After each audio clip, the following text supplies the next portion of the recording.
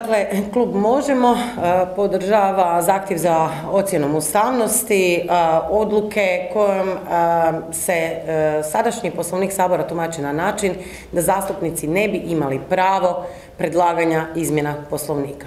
Dakle, to je onaj dio u kojem se svi ovdje prisutni slažemo, a to je da zastupnici u Hrvatskom saboru koji imaju pravo predlaganja izmjena zakona, a u određenom broju kada prikupe određeni broj potpisa i pravo predlaganja izmjena Ustava, pa kako onda nemamo pravo predlagati kao zastupnici izmjene Poslovnika, dakle skupa pravila po kojima mi ovdje radimo.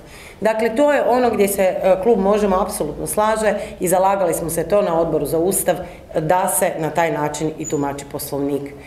E, druga stvar koja je bitna naglasiti, a koju primjećujemo u cijelom ovom mandatu od kada smo mi u Saboru, to je potpuni nedostatak političkog dijaloga i političkog dogovora između pozicije i opozicije.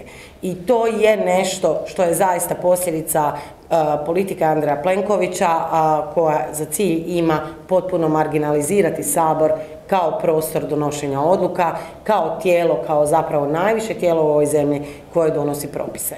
I to se vidjelo i na pitanju izbornog zakona, to se vidi u nedostatku dijaloga oko svih ključnih političkih pitanja u koje, koje u svakoj zemlji, u svakoj zemlji razvijene demokracije se rješava na način da se sjedne, da se pregovara i da se dogovori.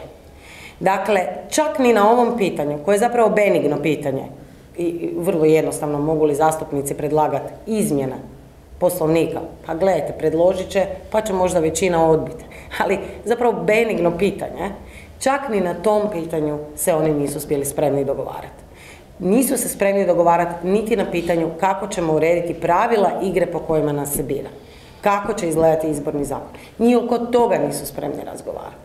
Nisu bili spremni otvoreno razgovarati, zaista otvoreno, niti oko pitanja izmjene Ustava, oko referenduma, ali i oko drugih stvari koje, koje nas muče i koje smatramo da treba mijenjati Ustav.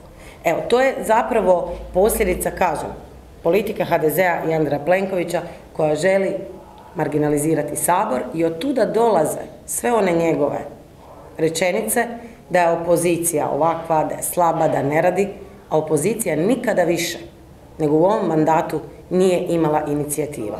I pojedinačnih klubskih, pojedinačnih zastupničkih i posebno zajedničkih.